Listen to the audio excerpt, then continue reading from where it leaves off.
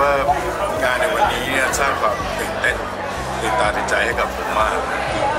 ต้องยอมรับว่าไม่ได้ทราบมาก่อนว่า เราจะมีคณะดิจิทัลที่ที่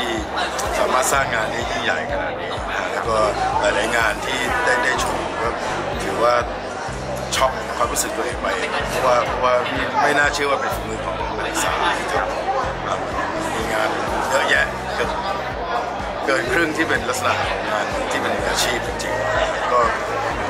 ถือถือว่าถือว่าตื่นเต้นแล้วก็แล้วก็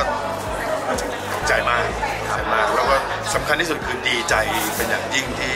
ที่เราจะมีน้องๆที่เข้ามาสู่อุตสาหกรรมภาพยนตร์นะฮะหรือว่าจะเป็นโทรทัศน์หรือจะเป็นอะไรก็แล้วแต่นะฮะคือเราจะมีบุคลากรเนี่ยเข้ามาสู่โครงการมากขึ้น ซึ่งเป็นเรื่องที่น่าดีใจมากแล้วก็สำคัญที่สุดคือได้ยินว่า ปีหนึ่งผลิตบัณฑิตได้ถึง 80 ถึง 100 คน ซึ่งมันเป็นเรื่องที่เป็นเรื่องที่ดีใจแล้วก็เป็นเรื่องที่ไม่เคยทราบก็ก็ก็เชื่อว่าต่อไปนี้จะจะเข้ามารับรู้เรื่องราวนี้มากขึ้นอาจจะ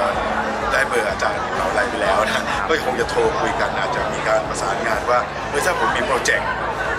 อะไรที่ไม่ไม่ไม่ถึงกับยากมากหรืออะไรถึงกับจะต้องใช้ระดับ